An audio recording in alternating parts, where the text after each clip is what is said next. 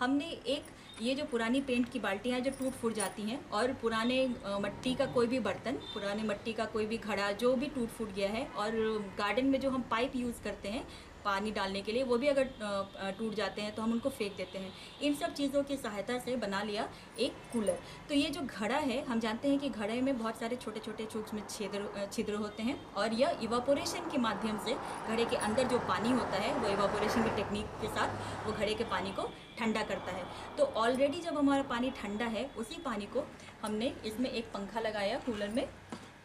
और ये जो छेद है, इनके इसके माध्यम से वातावरण की जो गर्म हवा है, वो इसके अंदर चली जाती है। और ये जो घड़ा है, उसके अंदर इवापोरेशन होकर और इवापोरेशन के द्वारा जो ऊर्जा चाहिए होती है पानी को ठंडा करने के लिए, वो ये पानी से हमें मिल जाता है और पानी ठंडा होकर धीरे धीरे और ये बाहर यहाँ से, इस तरह से, यहाँ से, इस तरह से निकलता है।